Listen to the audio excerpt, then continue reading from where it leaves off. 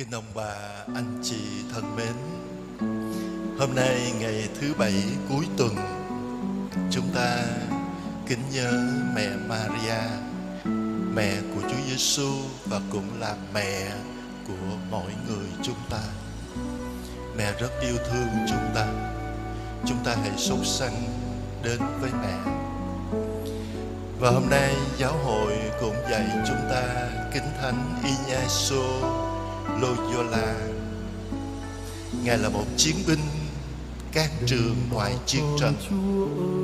Nhưng Chúa đã chọn Ngài Và Ngài đã bỏ lại tất cả Để trở thành một chiến sĩ của Chúa Kitô Của hội thánh. Cuộc đời của Ngài, Tất cả là vinh danh Thiên Chúa. Ngài đã quy tụ anh em, Hình thành những nhóm và trở thành đấng sáng lập dòng tên cho đến ngày hôm nay. Nguyện Thánh Ignacio cầu cùng Chúa cùng cho mọi người chúng ta, cho hội thánh chúng ta trong bất cứ hoàn cảnh cũng đều làm sáng danh Chúa mà thôi. Tin mừng Chúa Giêsu Kitô theo Thánh Matthew. Thời ấy, tiểu vương Herode nghe danh tiếng Đức Giêsu thì nói với những kẻ hầu cận rằng, đó chính là ông Gioan Tẩy Giả. Ông đã từ cõi chết trỗi dậy, nên mới có quyền năng làm phép lạ. Số là vua Herode đã bắt ông Gioan xiềng ông lại và tống ngục vì chuyện bà Herodia vợ ông Philippe, anh của nhà vua. Ông John có nói với vua, Ngài không được phép lấy bà ấy. Vua muốn giết ông Gioan, nhưng lại sợ dân chúng vì họ coi ông là ngôn sứ. Vậy nhân ngày sinh nhật của vua Herode, con gái bà Herodia đã biểu diễn một điệu vũ trước mặt quan khách làm cho nhà vua vui thích. Bởi đó, vua thề là hễ cô xin gì vua cũng ban cho. Nghe lời mẹ suối bảo, cô thưa rằng, xin ngài ban cho con ngay tại chỗ cái đầu của ông doan tẩy giả đặt trên mâm. Nhà vua lấy làm buồn, nhưng vì đã trót thề, lại thề trước khách dự tiệc nên truyền lệnh ban cho cô. Vua sai người vào ngục, chặt đầu ông doan. Người ta đặt đầu ông trên mâm, mang về trao cho cô. Và cô ta đem đến cho mẹ. Môn đệ ông đến lấy thi hài, ông đem đi mai táng, rồi báo cho Chúa Giêsu.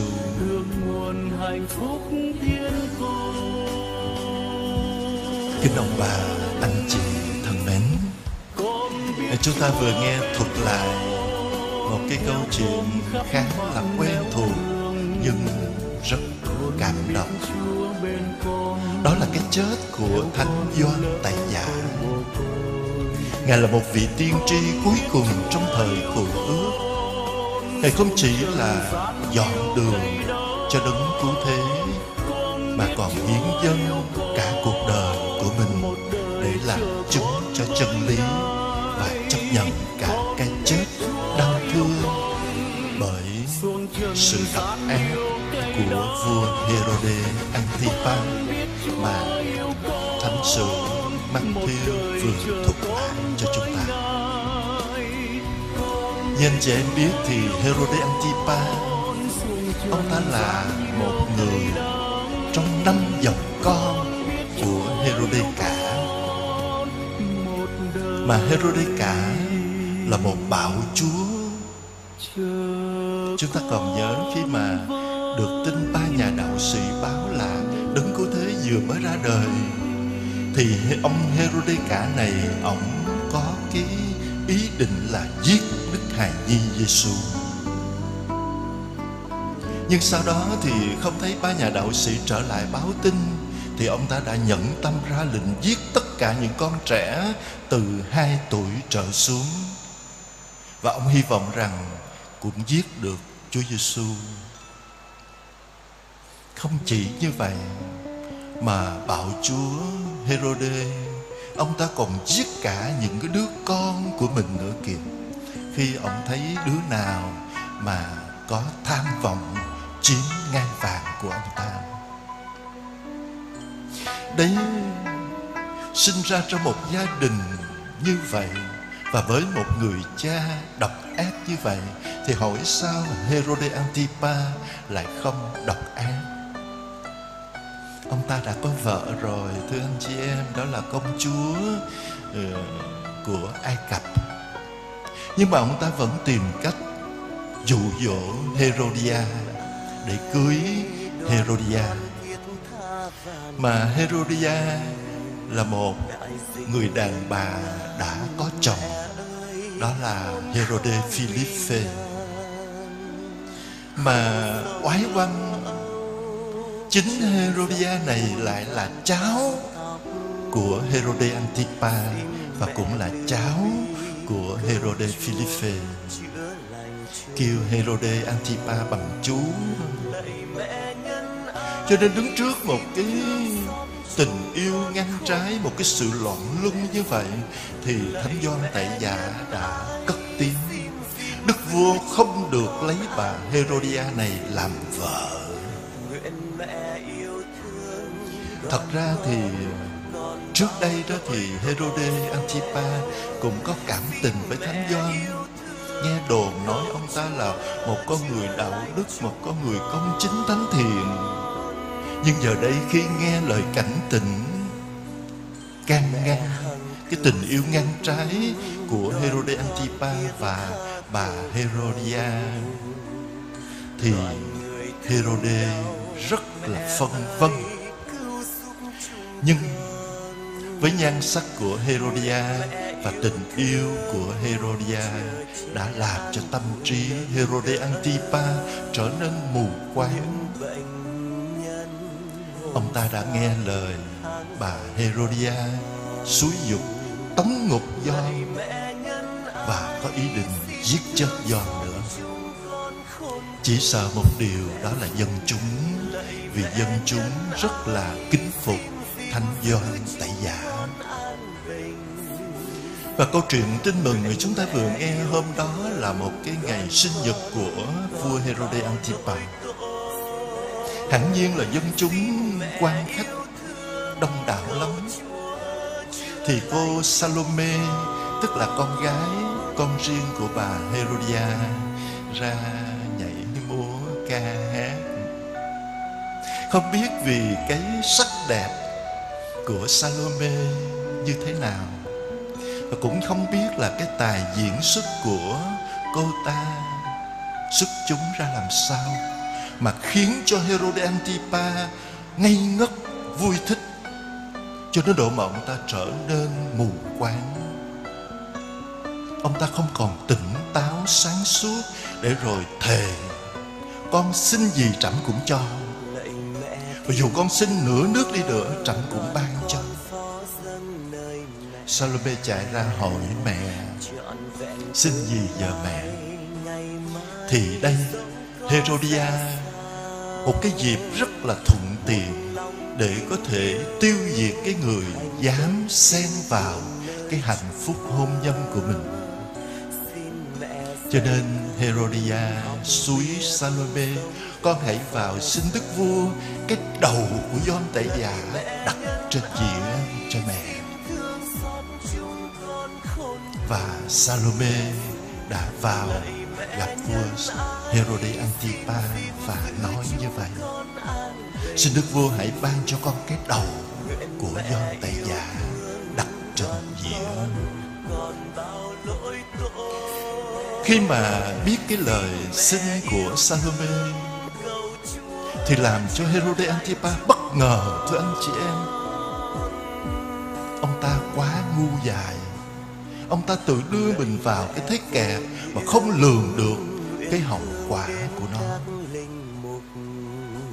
Cả gian phòng hôm đó như lắng động để chờ cái sự quyết định của Herode Antipa.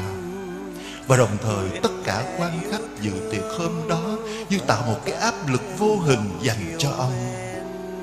Vì tất cả họ đều nghe cái lời thề của Herode Antipa trước đó cho nên rút lại lời thề thì coi sao được còn đâu uy tín của một nhà vua và Herode Antipa đã sai thị vệ vào trong một thất chặt đầu Gioan đặt trên đĩa mà trao cho Salome. Salome bưng cái đĩa có đầu của Gioan trên đó trao cho mẹ là bà Herodia. Thưa anh chị em, Herode Antipa đã chọn mình, chọn cái danh dự của mình, chọn cái chiếc ghế ngai vàng của mình hơn tất cả. Ông ta cố gắng giữ cái tiếng tâm của mình, cố gắng giữ cái tình yêu ngăn trái của mình với Herodia. Để rồi ông ta không còn một cái sự tự do lựa chọn nào khác ngoài cái việc chém đầu do đại giả. Hay đúng hơn là ông sợ. Ông khiếp sợ cho đến hèn hạ trước Salome sợ Salome phật lòng. Và ông cũng sợ làm phụ tình bà Herodia vì đã cam kết hứa hẹn với bà. Ông cũng sợ mất mặt trước mặt bá quan văn võ hôm đó. Và sau đó là cái sự cắn rứt trong lương tâm của ông. Thì đó chính là một cái sự tra vấn của Chúa trong tâm hồn của Herode Antipa. Tại sao? Tại sao ngươi nợ giết Gioan Tẩy Giả là một người công chính? Đến độ mà Trang Tin đường lúc nãy phần đầu có nói khi mà nghe biết Chúa Giêsu giảng dạy và làm rất nhiều phép lạ cho người đuôi được thấy, người câm nói được, người què đi được và cả người chết sống lại. Thì dân chúng nói, ồ, ông Gioan Tẩy Giả đã sống lại. Người thì nói là tiên tri Elia, người thì nói là một ngôn sứ nào đó trong thời cụ ước thì ông Herode Antipa này ông úng ông Gioan đó. Ông Gioan mà trẫm đã chém đầu, ông ta đã trỗi dậy. Có nghĩa là Gioan bị chém đầu, nhưng hình ảnh cuộc sống và cái chết của Thánh Gioan tại Giả luôn vẫn ở đâu đó ám ảnh cuộc đời của Herode Antipas. Gioan tại Giả đã chết nhưng sự công lý và chân lý cuộc đời của Ngài vẫn sống mãi, thưa anh chị em. Bóng tối chỉ che khuất, Chứ bóng tối không bao giờ có thể dập tắt được ánh sáng Qua lời Chúa hôm nay, Cuộc đời chúng ta cũng vậy, thưa anh chị em Tôi với anh chị em luôn phải chiến đấu Giữa cái thiện và cái ác, Giữa cái tốt và cái xấu. Cầu nguyện sao xin Chúa cho mọi người chúng ta Đừng phải quá mê muội Đi tìm những cái lợi lộc, Những cái danh vọng Và sắc dục trong cuộc đời này. Để rồi lương tâm chúng ta cũng phải bị dày dò, cắn rứt như bà chúa Herode Antipa. Và chúng ta cũng cầu nguyện cho nhau, để trong mọi hoàn cảnh, chúng ta cố gắng sống cái tinh thần tin mừng của Đức Kitô. Để chúng ta luôn được thanh thản, luôn được bình an trong tình yêu của Chúa, dù chúng ta có phải hy sinh và thậm chí cả cái chết.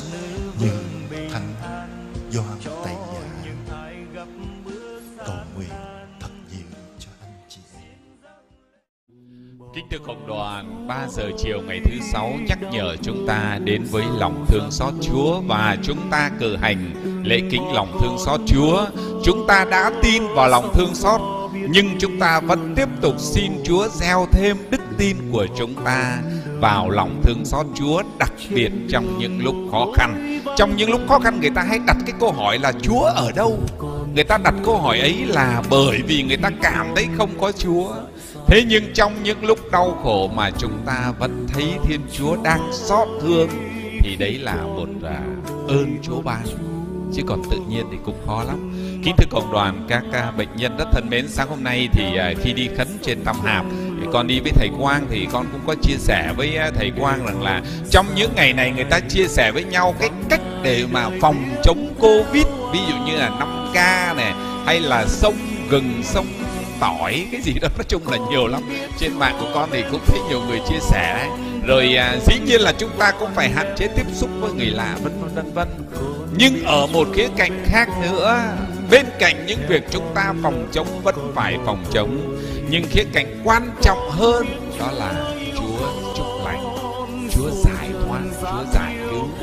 Chúng ta nhìn vào kinh thánh để thấy rằng trong những cái đại nạn thật sự phải có cánh tay Chúa, chúng ta cũng tìm mọi cách để mà tránh những cái thảm họa. Thế nhưng mà thật sự người ta nói rằng trước những thảm họa, trước những đại dịch thì sức của con người hết sức là mong manh, hết sức là mong manh. Thì chúng ta cũng phải thấy một mặt chúng ta vẫn phải tìm mọi cách để phòng chống, nhưng chúng ta cũng phải biết rằng Chúa cứu.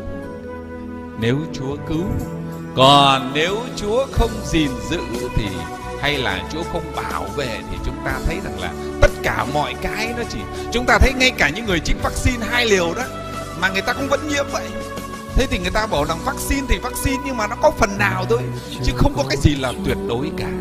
Không có cái gì là tuyệt đối để cho chúng ta có một cái suy nghĩ. Chúng ta cần đến Chúa là đấng làm chủ, vũ trụ và vận mạng con người này. Thế thì chúng ta tin vào Chúa thì chúng ta sẽ tìm kiếm đường lối, cái đường giải cứu của Chúa trong những lúc khó khăn. Ngày xưa giữa đại hồng thủy, tất cả mọi người đều chết hết. Nhưng ông Môsê à như ông Noe, như ông Noe lại được cứu trên con tàu. Ông Noe được cứu giữa nạn đại hồng thủy là bởi vì ông ấy nghe được lời Chúa. Ông ấy biết lắng nghe lời Chúa giống như là cô Marta và Maria ngày hôm qua đấy à, cô Maria cứ ngồi lì dưới chân Chúa để lắng nghe lời người. Thì Chúa Giêsu nói với cô Marta rằng con lo lắng nhiều chuyện quá. Có một việc cần thiết tôi ngồi đây với ta ngồi đây với ta. Để ta chỉ cho thế thì ông Noe đã thoát nạn đại hồng thủy là nhờ ông ấy nghe được tiếng Chúa và đóng một cái con tàu giữa cái lúc mà hạn hán như vậy. Tất cả mọi người đều chế cười nhưng mà ông ấy bảo rằng là Chúa nói và tôi nghe được tiếng nước đang về. Nè, ông Noe thoát nạn hồng thủy là nhờ nghe lời Chúa. Đời hình ảnh thứ hai đó là thành Sodoma bị lửa. Bị lửa diêm sinh từ trời đổ xuống tiêu hủy hết cả thành. Chỉ có ông Lót là được cứu. Ông Lót là được cứu là vì sao là bởi vì ông có người bác là ông Abraham người cậu là Abraham. Cầu nguyện với Chúa cho. Đó. thế thì cái này cũng là hay đấy. Trong những ngày này thì con nhận được lời nhiều lời cầu nguyện lắm nhiều người xin cầu nguyện lắm. Không chỉ là xin Chúa thương xót con mà nhiều người Chúa cha ơi cha và cộng đoàn lòng thương xót cầu nguyện cho cậu con cầu nguyện cho chồng con cầu nguyện cho hàng xóm của con hay là trong khu phố của con. À, ông Lót được cứu thoát khỏi Sodoma. Đó là nhờ ông Abraham cầu nguyện. Thế thì trong những ngày này chúng ta cần phải cầu nguyện nhiều. Chúng ta, nếu chúng ta tin Chúa, chúng ta sẽ cầu nguyện được. Còn nếu mình ờ, không có tin Chúa thì cái lời cầu nguyện của chúng ta nó sẽ lỏng lẻo lắm. À, xin Chúa thêm đức tin cho chúng con để chúng con miệt mài liên lỉ cầu nguyện. Càng khó khăn thì càng cầu nguyện.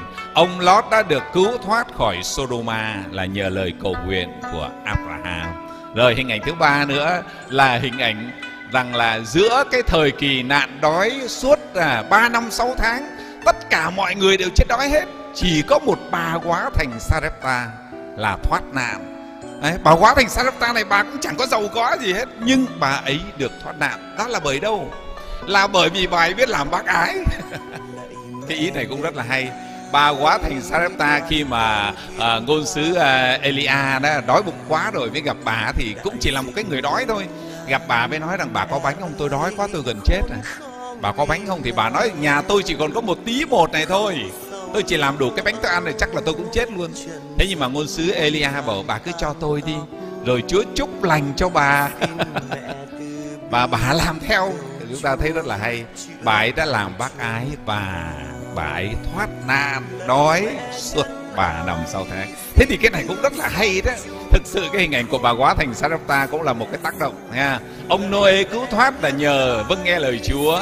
Ông Lót cứu thoát là nhờ lời cầu nguyện bà quá thành Sarepta được cứu thoát nhờ việc bác ái. Nhờ việc thực thi lòng bác ái. Thế thì con gợi ba cái ý đó để rồi chúng ta, trong những lúc chúng ta năm ca hay là sông ờ, sông cái gì đó, sông ờ, sông gì? Nói chung là đại khái là giữa những cái đó thì chúng ta vẫn phải thấy là dù có chích vaccine đi chăng nữa thì cũng không bảo vệ chúng ta một trăm phần trăm. Nhưng Chúa xin cho chúng ta có niềm tin vào Chúa thế thì chúng ta niềm tin vào Chúa thì chúng ta xác tín rằng Chúa có cách để giải thoát. Chúa làm cho kẻ chết sống lại được cơ mà. Thì chẳng lẽ những cái chuyện này Chúa lại không làm được sao? Xin Chúa gieo vào lòng chúng ta niềm tin để rồi chúng ta đi theo cái đường lối của Chúa. Và chúng ta thấy không giữa giữa cái lúc khó khăn như thế này chúng ta lại có khả năng làm được những cái việc tốt lành.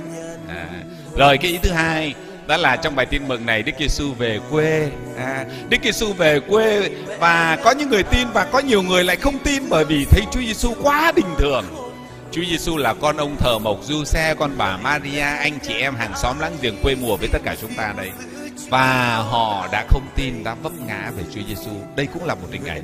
Chúa Giêsu không phải là một vĩ nhân, không phải là một đấng quá giỏi giang hay là một anh hùng ca gì đó ghê gớm.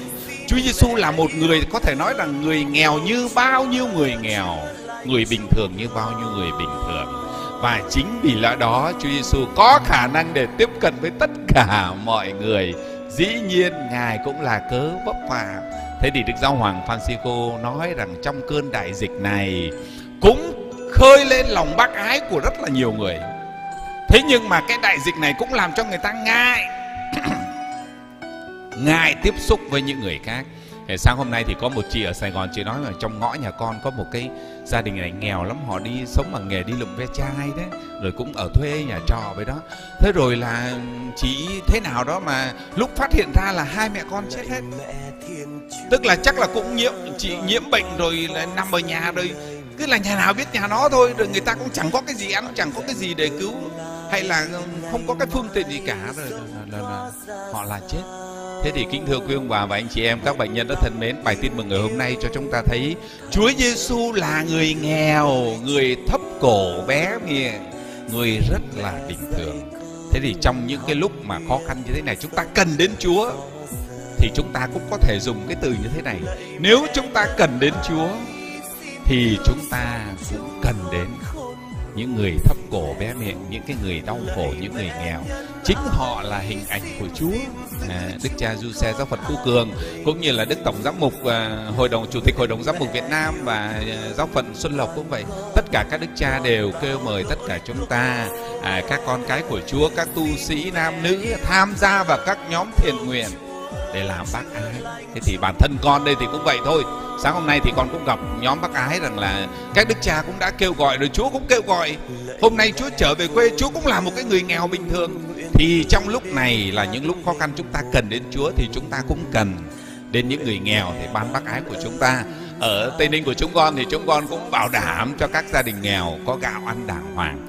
Những người đi à, bán vé số không đi bán được thì đến với chúng con thì chúng con cũng sẵn sàng. Thế thì khi chúng ta cần đến Chúa chúng ta cần đến người nghèo. À, chúng ta đến với những người nghèo là chúng ta đến với Chúa và Chúa mới có thể giải cứu chúng ta. Thưa quý ông bà anh chị em cái ở cái phần ngoại truyện tiếp theo cái đoạn tin mừng chúng ta vừa nghe Thánh Geronimo còn cho biết thêm một chi tiết kinh hoàng hơn. Ấy là sau khi nhận được cái đầu của Doan tẩy giả rồi bà Erodia đã lấy dao cậy miệng ngài ra, rồi đâm một nhát thâu qua cái lưỡi. Cái lưỡi đã dám nói lên những lời mà bà cho là xúc phạm đến bà. Doan thực sự không xúc phạm gì đến ai hết, Mà Ngài chỉ nói lên một sự thật. Doan cảnh báo cho Erodia và vua Herode không được quyền kết hôn với nhau Vì họ là có tương quan chị dâu em chồng. Nếu không dừng lại thì mối quan hệ của họ là loạn luân không thể chấp nhận được. Ấy thế mà sự thật này đã không được họ đón nhận Vì nó nghịch với dục vọng của lòng họ.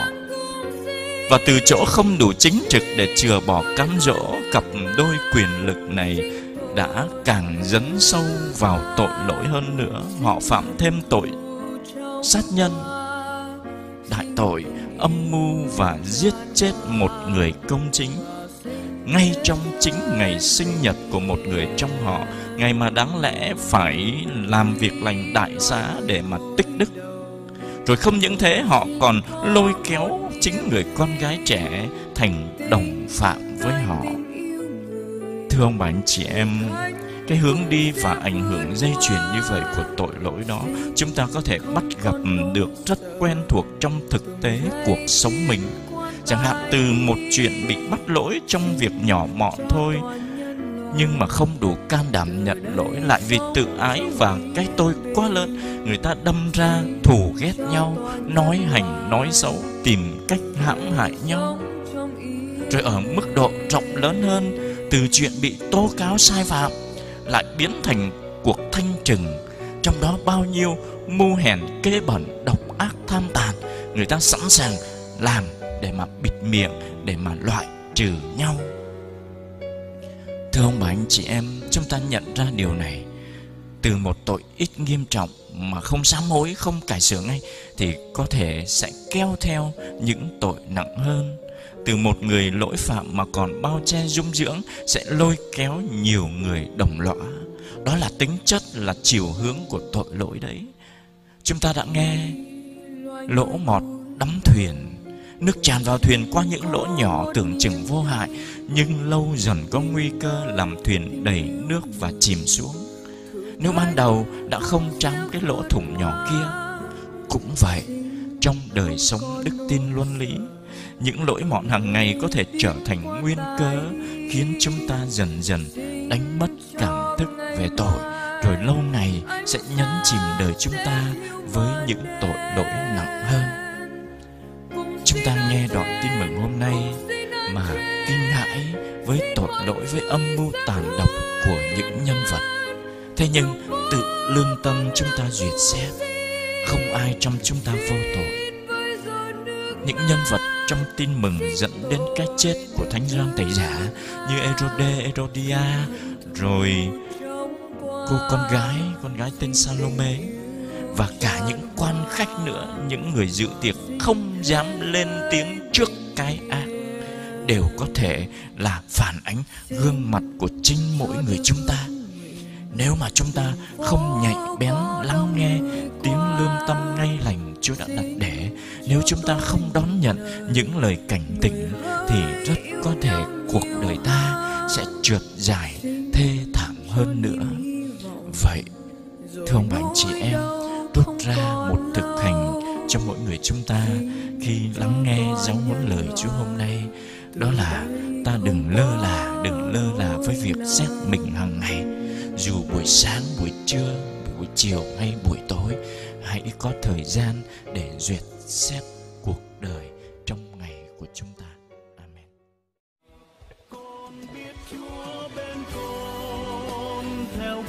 kính thưa quý ông bà, anh chị em, Tin mừng hôm nay cho thấy Thánh Gioan đã can đảm lên tiếng tố cáo tội lỗi của Herode. Ông ta dám cướp vợ của người anh mình. Gioan đã can đảm lên tiếng nói lên sự thật, dám can đảm nói lên tội lỗi, nói lên sai trái của vua Herode dù phải gặp nguy hiểm, dù có phải chịu chết.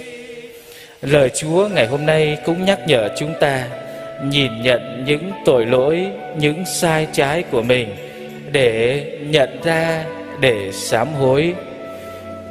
Chúa vẫn nhắc nhở chúng ta qua tiếng lương tâm của mình. Khi ta làm điều gì sai trái là lương tâm ấy ấy náy mất bình an. Vì thế ta hãy biết nhạy bén nghe tiếng lương tâm của mình để biết hoán cải, làm điều lành, tránh điều dữ.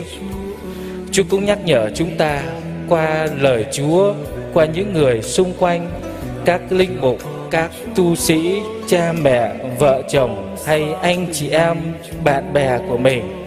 Vì vậy, chúng ta cũng hay biết khiêm nhường để đón nhận những lời góp ý chân thành của họ, biết sửa đổi bản thân, từ bỏ lối sống bê tha, tội lỗi để biết sống đạo đức ngay lành.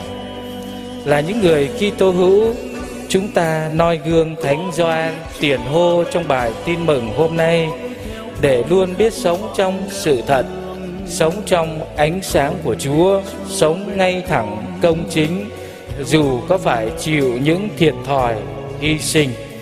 Vì được lời lãi cả thế gian mà mất linh hồn, mất sự sống đời đời, nào được ích gì? Xin chúa biến đổi mỗi người chúng ta, mỗi ngày một nên giống chúa hơn kính thưa quý ông bà và anh chị em. Tin mừng chúng ta vừa nghe thường được đọc ở trong thánh lễ thánh doan tề giả bị trảm quyết. Hôm nay chúng ta được nghe lại một lần nữa và câu chuyện này xảy ra khi doan tề giả đang ở trong ngục bữa tiệc của nhà vua con gái của herodia làm cho vua vui thích. Và giữa quần thần, vua đã thề với cô gái, con xin bất cứ điều gì ta sẽ ban cho con. Và câu chuyện này gợi lên cho chúng ta những điểm đặc biệt lưu ý. Gioan là đấng, là người đã rao giảng về chính Chúa Giêsu, là người mở đường cho Chúa. Và khi Gioan tống ngục và bị chết, thì cũng là lúc Chúa Giêsu bắt đầu sứ vụ công khai. Và Chúa Giêsu bắt đầu thực hiện các phép lạ, những việc kỳ diệu trong dân và từ đó đến tai Herode. Herode được nghe biết tiếng của Chúa, tiếng tâm lừng lẫy của Ngài, thì ông có một sự hiểu lầm. Chúa Giêsu chính là Gioan đã sống lại. Sự hiểu lầm này dẫn tới việc Herode coi Chúa Giêsu là chính Gioan thầy Giả đã trở và đồng thời, nó cũng nhắc nhớ về quá khứ của Herode. Quá khứ mà ông đã làm cho làm cho Gioan. Một người mà ông từng kính sợ. Một người ông từng yêu mến. Bởi vì đều coi Gioan là tiên tri. Thế nhưng mà có điều gì đó xảy ra? Mà chúng ta nghe trong tin mừng hôm nay. Và liệu nó có một liên hệ nào đó, một liên tưởng nào đó, hoặc là gợi cho chúng ta một điều gì đó ngay trong cuộc sống ngày hôm nay không? Có khi nào chúng ta phải đóng khung hoặc là phải thực hiện, phải làm một điều mà chúng ta không hề muốn làm?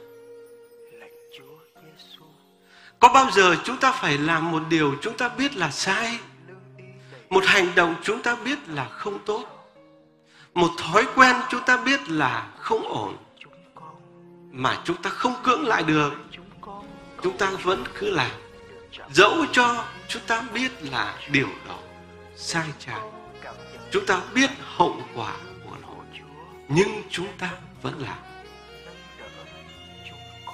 chúng ta có thể tự hỏi là điều gì xảy ra nếu như Herode quyết định không chém đầu Doan Tề Giả có một số người sẽ trả lời, sẽ vui thích, sẽ trả lời, ngài không thực hiện lời hứa. Ông là một người dối trá. Nhưng tất cả chúng ta đều hy vọng rằng sẽ rất nhiều người đồng tình với quyết định của ông ta. Không có gì nghiêm trọng cho bằng làm vui lòng người khác để lấy mạng sống của một người.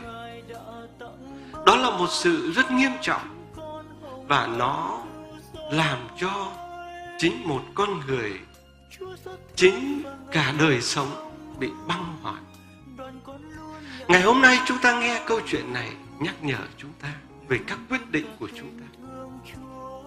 Các quyết định của chúng ta ở một, ở vào một thời điểm nào đó, nó sẽ liên hệ tới người khác. Nó sẽ liên hệ với chính cuộc sống của chúng ta. Nó liên hệ với các tương giao của chúng ta. Ở một thời điểm nào đó mà chúng ta cho là đúng và chính đáng, thì chúng ta cũng phải lên tiếng và hành động. Ở một thời điểm nào đó trong cuộc đời của chúng ta, cũng có những quyết định và cũng phải quyết định. Và chúng ta ước mong những quyết định của chúng ta là đúng đắn. Những quyết định của chúng ta là những quyết định không ảnh hưởng tới người khác, tới đời sống của chúng ta, và nhất là tới lề luật của Chúa. Và chúng ta biết rằng những quyết định, những chọn lựa của chúng ta nó sẽ theo suốt cuộc đời chúng ta. Có thể chúng ta phải trả giá cho những quyết định, những đắn đo, những lựa chọn ấy. Nhưng những quyết định ấy nó sẽ xây dựng cuộc đời của chúng ta trên đó. Doan Tây Giả đã chọn lựa Chúa phải lớn lên, Còn tôi phải nhỏ lại. Ngài đã chọn lựa đời sống làm chứng tá, Mở đường cho Chúa. Cho nên những quyết định của Ngài Là những quyết định được gọi là công chính. Những quyết định nó ảnh hưởng tới cả cuộc đời của Ngài. Cả sự lựa chọn của Ngài Và nó cũng ảnh hưởng tới lựa chọn của chúng ta.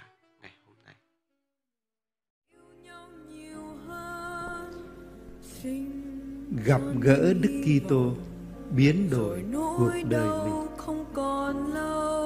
Herode, Herodia và cả Gioan Tẩy Giả đều đã gặp Đức Kitô và việc biến đổi đầu tiên tức là tự hỏi con người của mình. Và khi hỏi người tự hỏi mình đó thì vấn đề đầu tiên là tôi dám chấp nhận sự thật không? Nhất là cái sự thật trần trụi, mình yếu đuối, mình xấu xa chẳng hạn, nhận không được. Herode và Herodia đã không thể chấp nhận cái sự thật xấu xa của mình, cho nên đã tìm cách giết Gioan Tẩy Giả. Và Gioan Tẩy Giả cho dù biết rằng mình nói sự thật có thể mất mạng đó ông vẫn cứ nói vẫn hoàn thành sứ vụ của mình.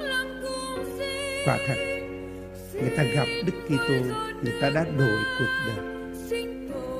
Còn chúng ta mỗi ngày đều gặp đức kitô. Có thể hiện tại bây giờ không mấy người được gặp chúa một cách cụ thể trong bí tích thánh thể nơi thánh lễ nhưng mà vẫn còn gặp Chúa trong lời của Ngài, gặp Chúa trong anh chị em của mình. Tôi tự vấn lương tâm. Liệu tôi có thay đổi không? Liệu sự thật về con người của tôi nó vẫn trần trụi như vậy đó, nó vẫn yếu đuối mỏng manh như vậy đó. Tôi có dám nhận để bắt đầu sửa đổi không? chưa có cơ hội để đến với Chúa trong bí tích hòa giải thì ít nhất tôi có thể sám hối để bớt đi những xấu xa hàng ngày không? Quả thật, lời của Chúa luôn luôn mời gọi chúng ta nhìn lại và mỗi ngày một thay đổi để trở nên những người con mà Chúa muốn